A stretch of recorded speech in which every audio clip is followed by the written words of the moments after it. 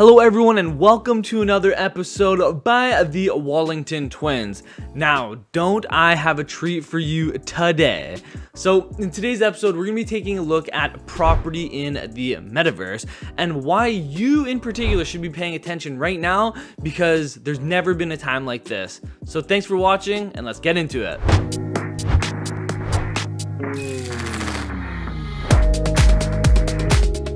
Now, when you think about buying this digital real estate, right now is exactly how it was 250 years ago when people were buying property in whether it be New York or even Vancouver. And with this said, there are tons of different investment firms right now that are spending millions in acquiring this property.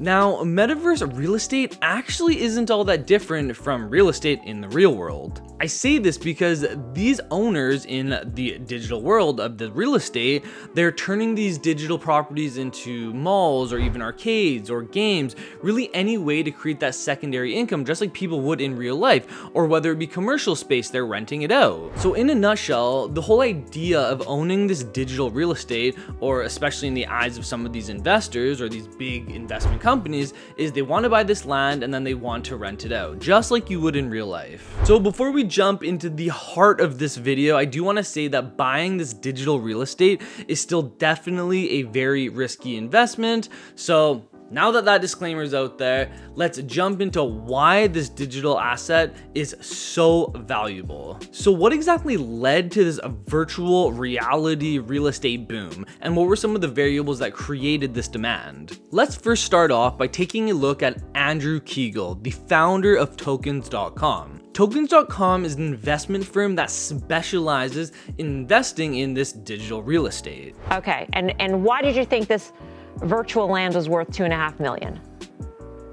Well, there's a lot of attributes about virtual land that are similar to real land. So, for example, there's a scarcity to it, there's location value if there's a lot of visitor traffic there, and there's the utility from it. And so, I think if you were to imagine the metaverse like a monopoly board, but rather than having you know just 28 parcels of land and eight players, there's many more parcels of land that you can develop and potentially millions and millions of users that you can collect rent from and you can create immersive experiences for. So going off of what Andrew Kiguel was talking about, there's actually only a few different platforms that are super popular where this digital land is being purchased. And it's important to note that this digital land is being purchased with each platform's native cryptocurrency token. And within these platforms, there's a finite supply of land available. And this is what in turn creates the value because of the fact that it's so finite and therefore it's it's going to be more rare to purchase. So continuing to look forward here at what actually adds value to this digital real estate, there is another large investment firm called Republic Realm, where in November, they spent the largest ever acquisition of digital real estate at 4.3 million in Sandbox. So that's why I think what Republic Realm does is so interesting. We've invested across 19 different metaverse platforms already. So we're not just betting on this one. We mm-hmm. look at all of the metaverse platforms we come across. So today, for example, we're tracking over 180 different metaverse platforms and new ones are being announced every week. The allure of working with experts like us and investing through our investment vehicles is that you get exposure to a broad, diversified portfolio. So instead of buying one spec home in Tallahassee, which nobody would ever advocate as a great real estate investment strategy, you're investing in something that's much more like a nationwide diversified REIT. So just like in the real world, a lot of the value in these digital properties are going to be set based on where they are located in the metaverse of that native world that they have. So if you're going to be located in the center area where a lot of people are spawning or joining that metaverse, a lot of this property is going to be even more expensive. Or if there's a ton of large companies that have acquired that digital real estate in a certain area, this again will also help to increase the value. So by now you're probably thinking like, why are these companies spending so much money on acquiring this digital real estate? And I mean, it's quite simple. It's like any other big firm in the real world. They're hoping that consumers are going to come into the metaverse and people are going to start buying. They're going to be buying residential homes. They're going to be investing in certain products. They're hoping and banking that normal people are going to be spending money in that metaverse metaverse? Think about it this way the, the metaverse is a multi trillion dollar opportunity that's going to change the way most consumer technology is used. people don't quite see this yet, but it's the next iteration of social media. It's the next iteration of computing, education, advertising, and shopping. And so when you put all this together, it's really going to change the way the internet is used.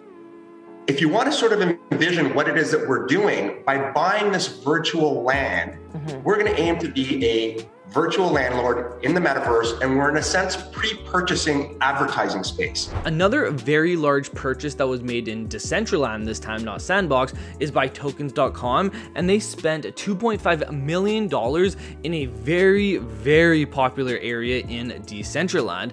And I know that their goal, from reading what Andrew Kiguel had to say and also watching some of his videos, is their goal is to make it the Rodeo Drive of the metaverse. So all of these expensive brands and luxury brands brands that we know today Coach, Gucci, Louis Vuitton, all these guys, they're hoping that they need space that they're to rent out. They're to rent it from tokens.com. And in turn, these brands won't have to remake or develop or anything like that. It's to be as simple as if you're to rent out space in the real world. You're just to rent it out from tokens.com. Tokens.com is to make the Rodeo Drive of the metaverse.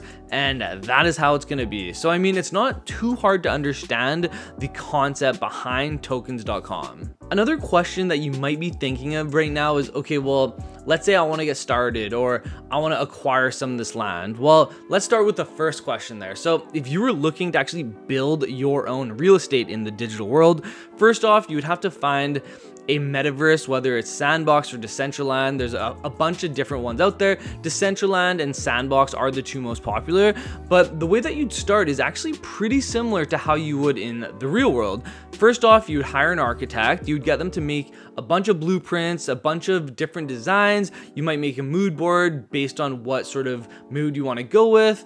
And then from there, what would happen is you would get a renderer to create renderings for you.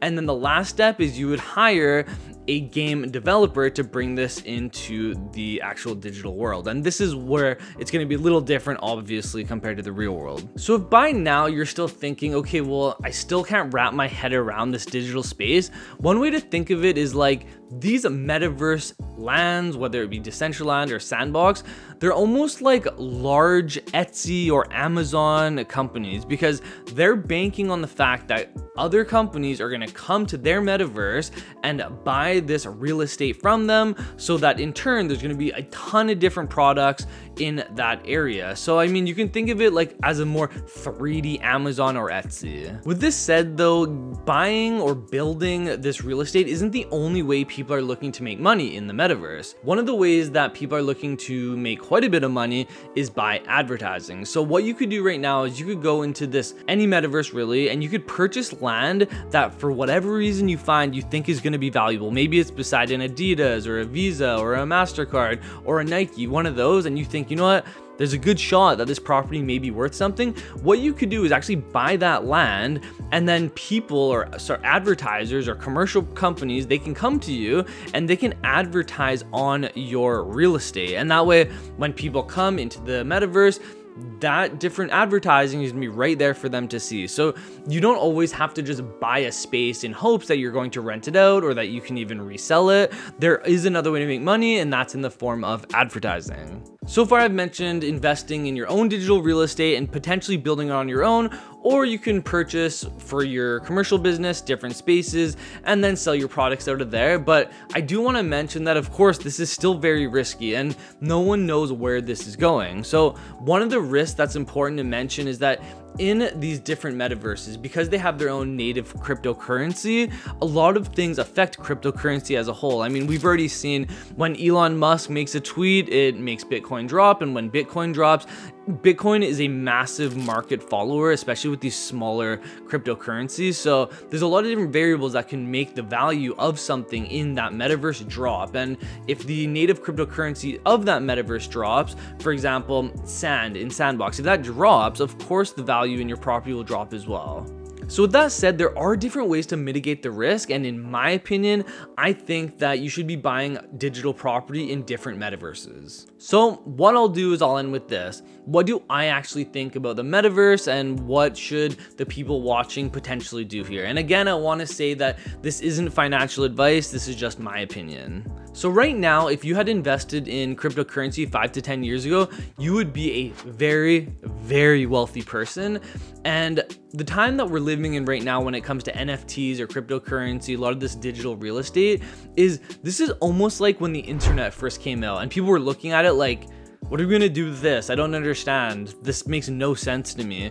This is how a lot of people think of NFTs right now in digital real estate. So if I were you, which is what I've been doing because I am a realtor, you should be diving hard into what actually needs to happen to make this digital real estate do well because there is going to be a time where this is going to be more mainstream. And if you look at the data right now, there's still only 5% of people that are even looking into this space, which is very, very small. Another huge reason why this space has exploded is because of Mark Zuckerberg's announcement that Facebook was going to turn into Meta, which would in turn follow their logic into where they think this technology sector is going. So they're going to be creating their own metaverse and it's going to be an exciting time because a lot is going to happen. But this was a massive reason why a lot of these different digital properties increased in value as well. So I'll end with this. And I do want to say this, this is just my opinion. This is not financial advice, but I do heavily believe that if you are somebody that wants to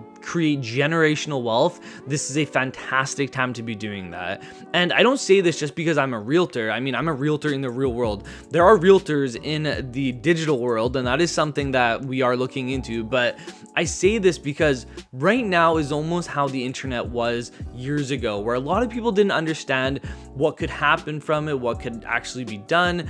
This is how a lot of people are looking at NFTs in the crypto space. People don't foresee how this is going to be a big part of our lives, but I've launched launched a couple of NFT projects now, and it's clear the factors that these things play. It's basically a membership that you're buying into people that you believe. It's to be everywhere soon. We're going to go to coffee shops. You're to scan your NFT. You're going to get 10% off, or there's going to be a group of co coffee shops all with the same NFT, where when you go there, you scan it, you get a discount. It's going to be the same with clothing. Adidas is already sending clothing if you own their NFT, free clothing for you, for your size. This is happening whether we like it or not. So there's a lot of people that are going to be hating on this space just because they don't understand it. But what I'm doing and what I would encourage everybody to do is spend 40 to 80 hours really studying this space and figure out what even is this? How can I actually make money on things that I know about? I told a friend the other day that's in the HVAC industry. Look how a potential NFT or look how potential digital real estate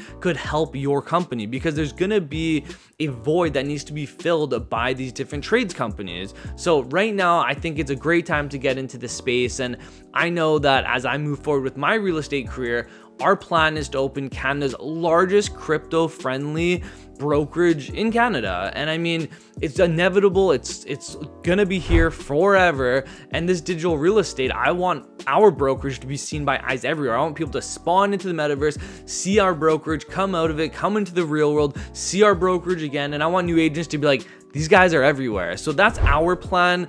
But I mean, that's to do with the realtor side of things. This video is mainly about what you could do as a consumer buying digital real estate. So with that said, I want to say thank you to everybody watching. I've received a ton of DMs on Instagram and even people reaching out to me on other platforms. But if you do want to reach me on Instagram, my Instagram handle is below, or you can just check it out. It's Davis Wallington Real Estate. And this was another video brought to you by the Wallington Twins. And we haven't uploaded for a while just because of a few different things with COVID. But I mean, we're back. We're to be making videos on a regular basis. And we want to showcase a lot more NFT type stuff So I want to say thank you for watching. And if you have any questions at all, leave them in the comments below. All right, guys, thanks and take care.